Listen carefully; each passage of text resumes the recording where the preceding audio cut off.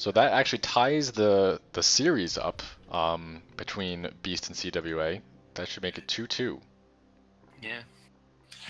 So now we're down to a best of three. Moving on to our next match, which will be a ZVT.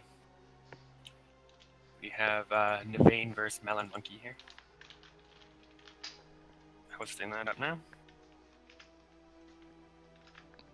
Trying to get the uh, the score updated. Melon Um, Monkey. Yeah, he's uh, Team Beast. Devane is CWA. I don't know a ton about either of these players. I know they've both played at least once or twice before in previous weeks. And yeah, actually, it should be noted these were the two top teams going into this match. So it was a pretty big match. The winner would move into first between the two. So. That's a good point. Yeah, this uh, you know, CWA has just been dominating. Um, they've got a pretty pretty wide field. Both their A teams and B teams seem pretty strong. Um, and they've been quite active. So so hats off to them. Team Beast, uh, this is their first meeting with with CWA, and yeah, whoever takes this really just takes the lead in the whole competition. All right, so we've got Crossing Field. We got a ZVT. Uh, what do you think about this matchup on this map? Uh, it's kind of tough to say. Um, so uh, you know the the macro style with fast potential for three gases uh, favors Zerg a little bit because you know really the the whole ZVT matchup as of the last few years has been about getting that third secured. Um, so if Zerg can do that easily, that does put T sort of on the back foot for a lot of things.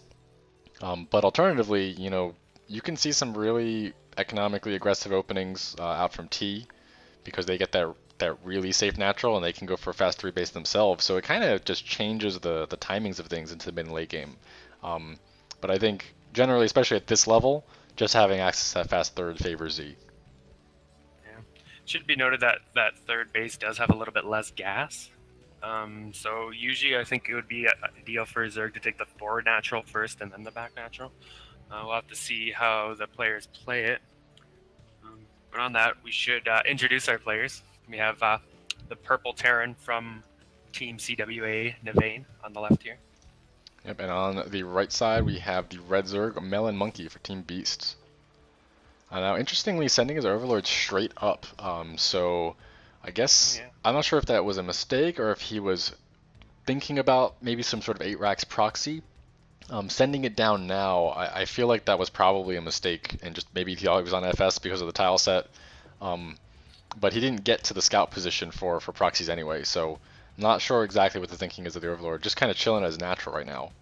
Yeah, he's not even using it to scout at this time. I mean, I don't know. uh, Usually, you want to send that first one, kind of see if we can see what Terran's up to, if they're going for a fast expand or trying to put on some early pressure or something. But It, it can be difficult on this map because it is fairly long. Um, it's possible that your Overlord will get sniped by maybe the first Marine, but that is a risk for the Terran player to even go hunting for that.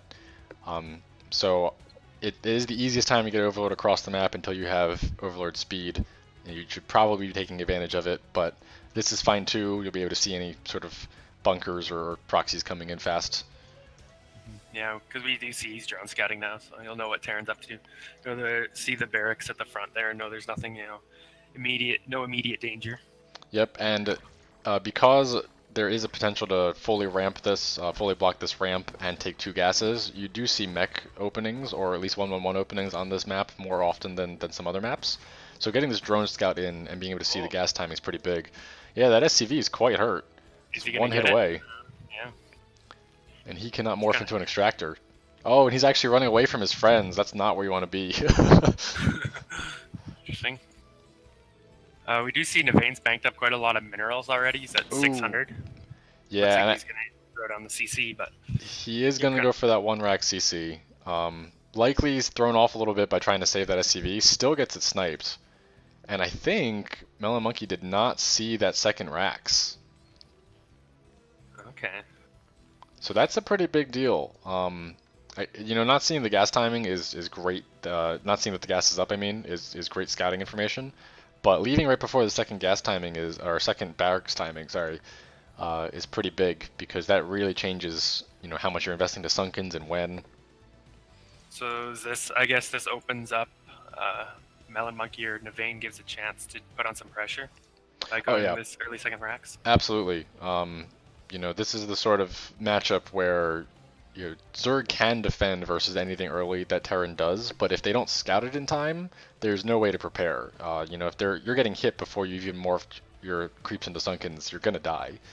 So if you're expecting that one racks um, or that plus one five rack style, they're only pumping Reens early game from one racks. This is gonna be double that, and it can come a lot faster. So if he's not prepared for that, he could just die. Okay.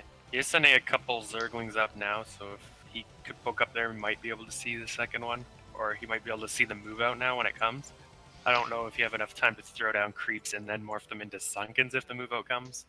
I think you might need them ahead of time, but Yeah, the rush distance is fairly long. Um, so depending on if the Terran player really just rushes for it, uh, you might be able to get him up. A lot of times Terrans will sort of move cautiously, especially up these ridges, because if you have mass Zergling, let's say, um, and they're just eh, like move commanding to your base in a line, they could get surrounded and die. Um, so it might buy him enough time, but he is going to see it, and he knows the count of Marines now, and actually moving out before medics. So this is a really strange timing. Uh, Academy is almost built at home. We're gonna have to rush for some Sunkens, but honestly, if Melon can clean this up, he's gonna be in a great position because uh, he, there's gonna be no Marines left for the medic timing. Yeah, I mean, maybe he's just trying to pressure, force the Sunkens and force some Lings and is going to go back. But he pushed out quite a ways. Like, if Melon Monkey had a bunch of Zerglings on the map, he could have easily just surrounded and killed this and put Navane behind. So Yeah, it's really risky to be moving out without medics like this. absolutely. There is no going back if you don't have medics. Um, you know, there are speedlings at this timing, and you're gonna force them out by by pressuring. So if Zerg wants to take these Marines, he absolutely can. Um, it looks like gonna be able to defend with only the two Sunkens. Did make quite a few lings. It looks like. What's the total? I see eight hanging out at the natural and droned behind. So really nice defense uh, from Melon Monkey. Gonna have his spire at a really decent timing as well, uh, in spite of the pressure. Yeah, So- and I believe Navane's uh, SCV did scout that spire too. Yes. So he should know it's coming. Yep, he definitely saw the spire timing.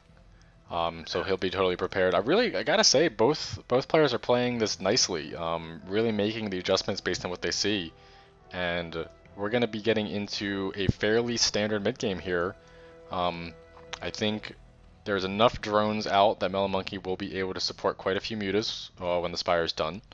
So we'll have to see how good he gets at that that nine muta timing. He needs to save up his minerals now. We have really fast Evo chamber, which is kind of weird, and two creep colonies in the back, so that's gonna hurt um, his mutas a little bit. Yeah, that's interesting. I wonder if maybe he wants to just go for some kind of fast carapace to deal with what he's expecting to be a five racks maybe or multiple racks play. Um, but we only see three racks right now, and he's teching up. He's getting his factory, so we'll probably be see a starport and science facility soon after. Yeah, I'm really curious about the fast Evo. Um, looks like he's making a spore in the back base here, so really concerned about drops maybe. Um, but what I would say to that is, is you really just want to get your nine mutas out. There's almost no way that a dropship is out this early, especially on a two racks build. Um, you know, we see a factory out for uh, Navane, so there's very little chance that they're going to be teching that quick and investing into the dropship at this timing. So you've kind of delayed your mutas um, for not too much benefit. And we do see how many mutas came out. We have about six mutas uh, because he just didn't have the minerals. Yeah, and also, uh, if he was going dropships, when you have mutas out, you could probably find and pick off that dropship. Like if you scout and see he's got a starport up already with a an add-on, or you could maybe find or pick off the dropship. Like the threat of mutas on the map makes dropships not as good. Absolutely. Um, we do have two turrets here in the back uh, and an M&M force ready to go. So we got some Muta harass. Muta Micro's pretty good, but unfortunately uh, the turrets buy enough time that Zerg's not going to be able to get in there to do real damage. Two more uh, turrets over here by the main CC, but really only one turret over by the barracks. That's the weak point. Um, and if Melon Monkey really micros the hell out of this, uh, he could do a lot of damage here. Looks like he will just be going back though. Yeah, he did kill one turret. I didn't see if he lost any mutas or not. Uh, we definitely lost at least one Muta. Okay. Um, so this is the kind of thing where if that was nine mutas and they came a little bit earlier and they went straight for this weak point, uh, that can actually end the game because there's a single turret defending the production there's a decent amount of M&M, but if you're picking them off while they're filtering in uh, and getting advantages, you can just get this critical mass and you're sitting over their barracks, so they just die. Um, so that's why that 9 muta timing is just so critical. And he lost his other turret at his back natural here, and he got a few SCV kills. He brought his M&M back to kind of deal with it, uh, but he was able to kill a few SCVs. And now he's trying to micro down, whittle down this Marine Force, kind of keeping him pinned in while he sets up another base or tries to. There is a drone looking to maybe take the fourth there. Yeah, it's moving over there now. Yeah, this Uh, is this is really good uh, control from Melon Monkey doing some uh, harassment while he's trying to get his tech and things going in the back. Um, we do see his macro slipping a little bit, so the the hatch here at the fourth is delayed. Um, the hive is now starting, but you know it's really hard to do muta micro and macro at once. Um, but this is this is the critical moment where you need to get that going. But it looks like he's about on par uh, with Navani in terms of tech, and actually ahead in terms of supply. They're even. Um, so that's a good sign for the Zerg player. Yeah, usually Zerg ahead in supply or even in supply is usually speaks to them being a little bit ahead, but I mean, it's not always necessarily the case. Yeah, now being very aggro with only five mutas here, just got a six rejoining now. Um, but that's not really enough mutas to do a ton of damage, and at this point the M&M numbers have grown that they can cover quite a bit of the space. You also have the first science vessel out, so irradiate will become a problem, and muta harass stage is nearing its end. Yeah, and we do already see Melon has made the transition into lurkers. He's putting a couple here to guard his fourth base that's coming up. Uh, he's got a few more hydras. I assume he's going to morph those. Hives on the way, so we should see the defiler mound going down soon. Uh, he needs to get those defilers out before Terran can push out, and then he can kind of defend against any Terran push here, really. Yep, absolutely. Um, what I would say is now that his tech is going, he's got some lurkers uh, ready to go for defense. Um, I would love to see him drone a little bit harder. If you look at his main and his back natural, um, there's not a lot of saturation going on there. So even though you're expanding to a fourth base, his economy is not that strong. Whereas if we look at the SCV counts uh, from Navane, he can fully support basically three mining bases. Um, so when he gets that third up, he's going to have a roaring economy and, and start getting ahead unless uh, Melon chooses to drone up pretty soon. Yeah, he does have a few idle drones sitting at his back natural as well. Yep. Uh, looks like Navane is scouting around. He just scanned another base to see if Zerg was taking that uh, 6 o'clock base there. Uh, and looks like he's now starting his third himself. Uh, he doesn't have a lot left at home. These mutas could kind of delay this third here. Yeah, they could delay the third. They could potentially pick off a tank, pick off a science vessel. So this is a great play. Oh, nice irradiate. irradiate. A slow Oh. split. This is Oh, he's actually really painful. He's taking a lot of damage. He's gonna lose kill 'em the all. Yeah. Oh my goodness. Um, but we do have the defense at the fourth base now getting harassed down. Lurkers unfortunately don't do well against tanks, so this is why you really need that hive tech up ASAP uh, while you're doing your muta harass. If you delay on that hive tech, this can happen and the tanks can uh, start taking you down. Yeah, he does have his defiler mound out up, but I don't see any defilers out yet or any like consume plague stuff ready, like Dark Swarm, nothing. Like he needed those defilers out already and then he could have held this base. Like Yeah, definitely. one Dark Swarm over One- the lurkers. When they have uh, when Terran has full tech out with tanks and vessels, you absolutely need defilers. Um, and at the time now, losing your fourth is going to be a tough position because this this force is not going to be dealt with very easily. We're going to need swarms. We're going to need some pretty good troop movement, and uh, it can just be joined with reinforcements any second now. So you're really going to have to be very careful as a Zerg player how you deal with this. So we do have some defilers out now. The first three and consume is kind of close to being done upgrading here.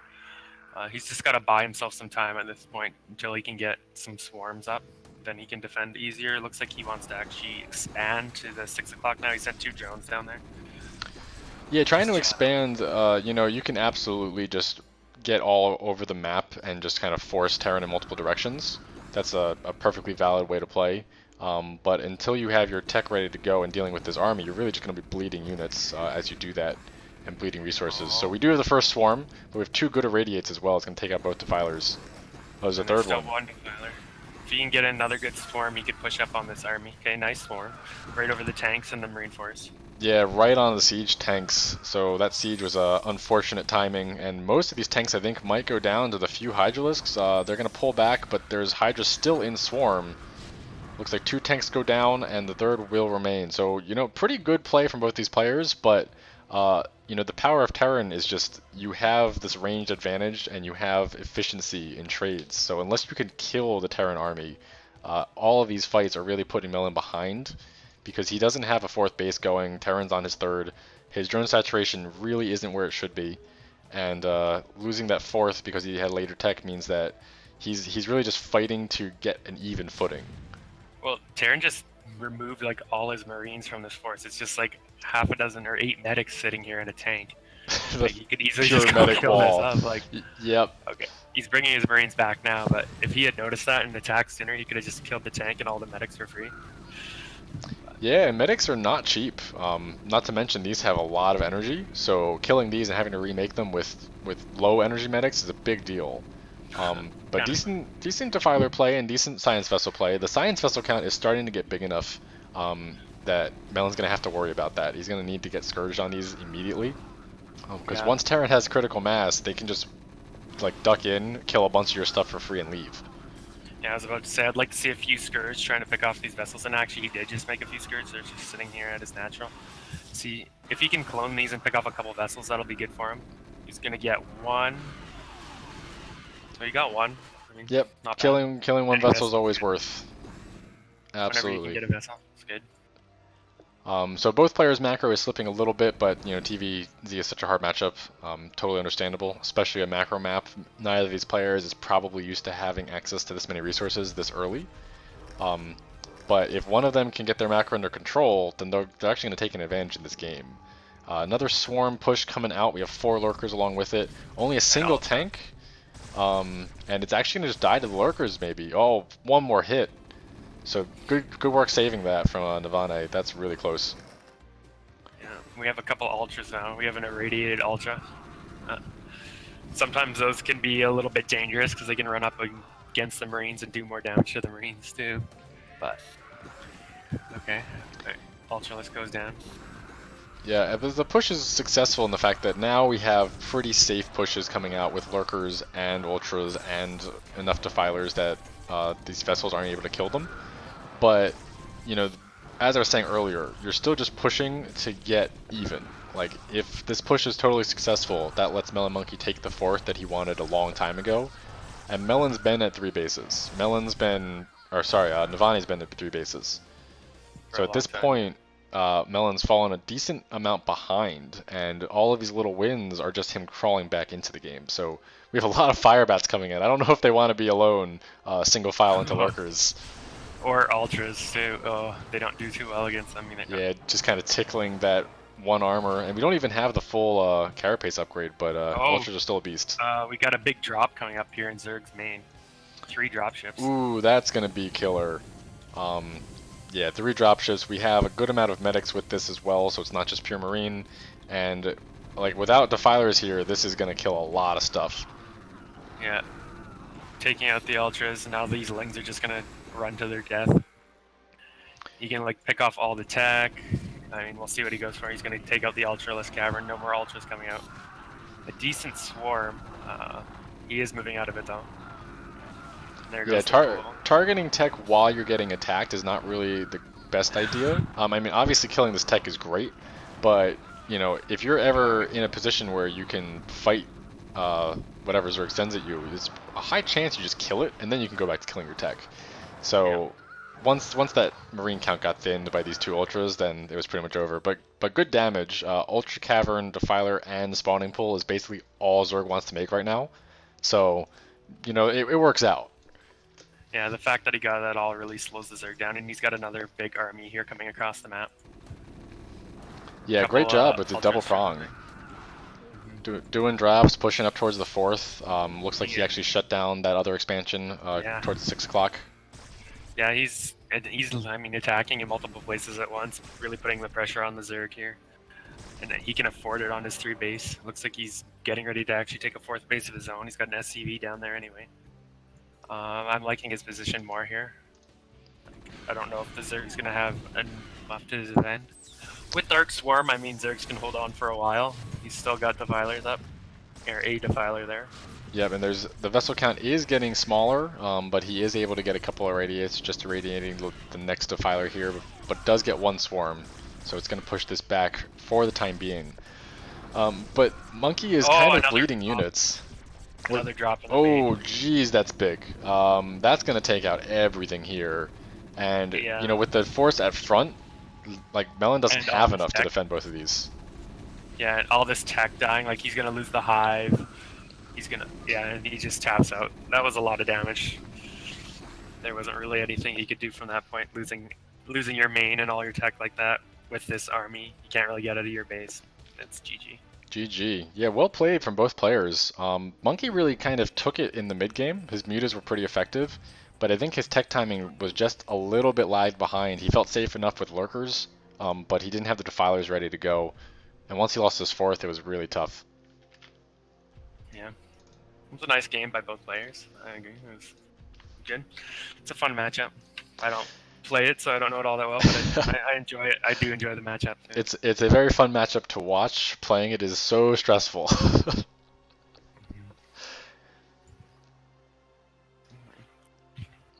we're gonna hop right into game two here. Uh, looks like this one's actually on um, South Cross. Oh, interesting. Uh, that's probably not right, but that's okay. Yeah, South Cross is supposed to be the third game. Gotcha. Yeah, that's that's fine. Um, Maybe they mislabeled the replays or something. played them out of order. Yep. No worries. Not going to be super strict on the the choice of maps. Yeah. Alright. That's alright. We'll see how this one goes. Yeah, so that was a solid TVZ. I'm I'm really excited to see what game two is going to be like. Because that one could have gone either way, really. Mm-hmm. Alright. Let's see here. So we have down a game up here in the top right, the yellow Zerg Melon Monkey. And down in the bottom corner, uh, we have the blue Terran Navane. Alright. So, TVZ on this map, any thoughts? Well, there is the supply depot cheese um, that you have to be aware of. So you see a lot less 12 hatch, but aside from that, you know, it's it's kind of a you have a lot of drop potential in the mains. Um, there's some bridges to control, so lurker play is pretty strong, but it, it can be a pretty standard TVZ here. Um, yeah, it's tough tough really to say. Being a three player, if Zerg opts to go for like the really far natural as their third gas. Um, it's it's possible that Terran's not going to be able to compete in the late game, but there are no ramps, so doing that standard like two lurker uh, control of a, a zone is really difficult. Yeah, I think uh, Mutalisk play might be pretty strong here. Like, if you look at the naturals, they got, you know, uh, kind of this area where the Mutalisks can just kind of hover over, where the Marines can't really get at them. Yeah, easily. it really depends So- on which base you get too. Um, Some good grass. Right, because some of that dead space is really big, so absolutely you can you can just kind of hang out right outside of, of Terran's natural. Makes it really tough for them to defend. Chess is asking if I can talk about supply depot cheese. Um, so right here, this choke, which we've seen some pylon cheese before, um, pylons don't block this entirely. So if you build a pylon, the Zerglings can still run through. But if you build a supply depot, that's actually tight. So if a Zerg is going for 12 hatch and Terran is planning some sort of 8 racks cheese and just gets a supply depot here, doesn't matter how much you have on this side, they can just repair it forever and this hatch is going to die. Yeah, I think we saw. I think it was Sari did that in the CPL pre-league tourney. Yeah, I think it was pylon, right? Yeah, he did a pylon. Yeah, he did it with a pylon and like gateway and cannons or something against Debaser. That's right. Finals, I believe. Yeah, um, yeah I, I mean I've seen it done with uh, Protoss against Zerg, doing a cannon rush that way. You put your pylon there or something, some cannons behind it, and just kind of deny the Zerg from getting that natural hatchery. Yep, so it's just something to be aware of. Um, usually if you do go 12 hatch, you would just have to kind of leave a drone here, uh, because if by the time you see the SCV, if that's his intention, you're not going to be able to run from your main to, to block that. Mhm. So we do have a two rack straight out uh, from Navane. So last time he went for one racks FE into two racks. This time it's going to be two racks with a fast gas. Um, So slightly different timings here. not having access to that really easy back natural uh, means that you really can't can't do a one racks FE as easily. Um, but the, the drone is going to scout it right off, um, so he's going to see everything, and we'll have to see what the response is. But I imagine that uh, Melon should be prepared since last time he was prepared without the scout. Yeah, so I guess that means Navani or Navane or however you say it is looking for a um, put on some early pressure here. Maybe even just force some extra lings at a melon or a couple of creep colonies. Yeah, the one thing Navane is actually moving out with three, four marines. Um, so even though Melon scouted it, he doesn't know exactly what what is being planned. But luckily uh, for him, he does have adequate ling production. He's making a sunken, um, so he should be fine here. But this is a risky moment because uh, you know you can really punish a Terran that's doing this. If you have your speed kick in, like I was saying last game, all these Marines are forfeit with enough speedlings. Mm-hmm. And you might just lose them here anyway. Oh, okay, maybe, maybe not. Yeah, being aggressive versus okay, Sunkens is not not a good call. Especially without medics. yeah, so he's gonna have to pull back. Um, so once again, Melon does defend pretty successfully. Uh, I really like how he, he handled that. Um, unfortunately, it looks like his build is thrown off a little bit, so his lair has been delayed by about 100 gas, which is not the biggest deal. Obviously, you just don't want to die. That's priority number one. Um, but Navani is going to be able to delay his mutas by doing that push out uh, the way he did. And it looks like he's throwing down his command center now, so he's probably setting up for another macro style game here. Yep, absolutely. Everything should normalize. Um, we see the Lariat started for the Zerg as well. Yep, and now we have medics coming. So medics and stim. Once those medics come out, the Marines get so much stronger. It's not even like fair. Uh, so we have we have a bunch of slow Zerglings going to check out what's happening at the natural, but they're not going to get anything done versus this Marine force. Yeah. Oh, they're going to try. Uh, okay. They're thinking about it, but they don't even have speed. speed. Yeah, if they had speed and the medics weren't here, okay, maybe, but without speed, I don't think so. Yeah, speedlings without medics, you could trade, you know, you wouldn't win the fight necessarily, but if you wanted to whittle down the uh, marine numbers to get your mutas more effective, that's totally an option. But now it's it's all over. Two firebats coming out as well. So it kind of suggests to me uh, Navani's going to try to be aggressive here. So the two racks style does let you have a couple of timings. Um, with that initial push out, he's kind of forced some defenses, so it'd be kind of weird to go for a second timing, but he might. Um, I'm a little concerned with the drone saturation from Melon. It looks like, you know, he made a decent amount of lings to try to put counter pressure, but that means he's barely got drones at his natural. Yeah, yeah, he's only got one actually mining minerals, so he does have his spire coming down. Uh, fairly decent timing. It's about halfway done, but he's not going to be able to afford to get all the his mutas because he's so low on drones. Uh, looks like Melon was trying to threaten a little bit of a backstab there, so he is going to force a stim, going to force these uh, Marines to run around and not read his front door, um, which is going to give him enough time to get some more creeps up. So he's going for four total colonies. With the drone saturation that he has, is really going to be a problem for him. Um, you know, his spire is almost done, and he's just not going to be able to afford mutas. Yeah, and he actually just threw down two more sunken colonies or creep colonies. One's turning into a sunken now.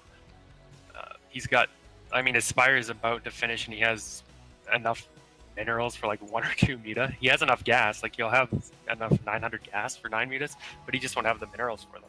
Yeah, and he's actually going to be supply blocked as well, so that 100 minerals going to the Overlord uh, is going to be a problem. So the mutas are seriously delayed now. Um, you know, the normal normal three hatch muta timing should have mutas basically arriving, and they haven't even started. Mm-hmm.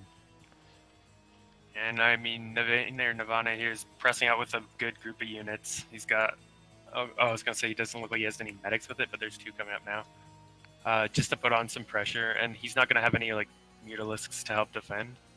With four yeah, four here, sunken should be fine. he can break it, but no, especially with a few lings as well. Um, you know that makes a big difference in terms of how that initial trade goes, and then once the Marines have been whittled down. Oh, he is going for it. There's the stim. I think he didn't realize that there were four. I was expecting maybe the only two. So that's that's not going to work out. But these mutas need to be really careful. They can't harass this ball at all. No, no. He could just... Oh, don't. Because he can't really one-shot Marines or anything, and he could just lose those so quickly. One miscontrol and they're all dead. Yep, with only three mutas, you know, he's just posturing at this point. He's, he's not actually able to get anything done. And taking some free hits before you have the, the mass that you want is not really a great trade. Um, so even though Mew hasn't died, one is dangerously low, and he's trying to get that to mass going. This is is not the best choice, I think. Um, not to mention, if there's all these M&M in the map, you should really be heading to the main, right? There's there's no units here. You have three Marines. Yeah, uh, like, well, you can see at the natural too for Terran. There's no turrets up. He could like, you know, ho- hover over that cliff and pick off the Terran's gas or pick off some SCVs. Yeah, so recognizing that you know you've invested in the Sunkens, so you're pretty much safe. Um, um, just trying to go for some sort of attack is is probably the best way to use these mutas. Uh, gonna find the one place in the base where that has the turret defense. Uh, so that is a little bit unfortunate. Gonna be trying to harass down some supply depots, but really you gotta be taking this timing window to find the weak points. Um, you know, these these two marines, the single turret, things like that, uh, are much more effective than just getting these these supply depots down. But if you can kill them, it's still a good win. Um, damage is damage. Any losses timing? I mean, there's turrets up at the natural now, so you won't really be able to harass that. But just any units you can pick off is good. Uh, anything you can delay or slow down for the Terran is good. You're basically looking to buy yourself some time here, where you get your next bases up and you get your lurkers up and everything. Yep. So it looks like lurker tech is at a decent time, uh, at least in comparison to the mutas. We do have the factory already up and the starport coming up. So Navane does a really good job transitioning into that late game tech. Um, Melon has was a little bit behind the first game in terms of getting his hive going, and this game we don't even see the queen's nest. So I'm a little worried that's kind of going to go the same way when the tank vessel push comes out. He's just not going to be prepared for it. Yeah, it just feels like he's a little bit further behind this game than he was last game. And yeah, definitely, and that's a lot too. of mutas. Oh, oh, yep, one one tiny lapse of control. I think he was busy uh, dealing with his potential third, and you know, he's trying to take it the standard way that you would take on like FS, where you just have some lurkers and you just build it. But without the ramp, um, Terran can deal with that a lot easier. So this is kind of what I was saying. It, it's tough for for that third gas to get secured, and you know you get a free one on uh, on crossing field. So very different game here. It looks like opting for two evos instead of a hive. Um, so going to just go for power layer tech, which is kind of interesting. Interesting, yeah. We'll see how that works out he is still like short on drones in his main, but he's a seems to be a little oversaturated maybe at his nat. So yeah, I think there was probably a transfer. Yeah, there's a few. I mean, if he could put a few of those drones back in the main, that'd be good. Uh, yeah, at the minimum, you always want one per patch. Exactly. Um, probably all the drones that were used to make these buildings uh, just cut into this line, and then all the rally was over here, so they just went to mine at the natural. It's a pretty problems. pretty common issue for Zergs. Yeah, Zerg problems. Zerg problems. Like, problems. Nah, no, I know. I've I've seen that happen to you before too. Oh yeah. All these drones mining at the natural or something. Yep, every You're building's a drone. Like, I would have yeah. great saturation if I had no tech. Maybe. no, but I mean, we see Navane or Nirvana here is looking for this Zerg third. He's got like Marines kind of spread out looking to see where the drone is because I think he scanned the drone earlier, but Melon just took this other one as his third instead. Yeah, I kind of like that move. Um, it really shows that both these players are very aware of what the other players are doing and, and reacting accordingly. So we saw that game one. We definitely saw that this game um, at, at, a lot of levels. I think is just macroing like a madman this game. Um, so we saw both of their minerals creep pretty high in game one, but that's probably a result of having that fast third. That's that's not normal.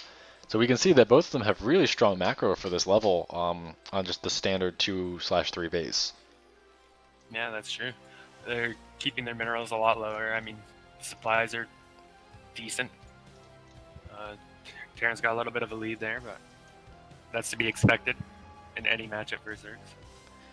Yeah, honestly, as long as Melon gets his drone saturation going, um, you know, a little more evened out and gets some drones at the third, then this is going to turn into a very even game. But we do see Navane preparing for that push out. I expect that vessel vessel just popped.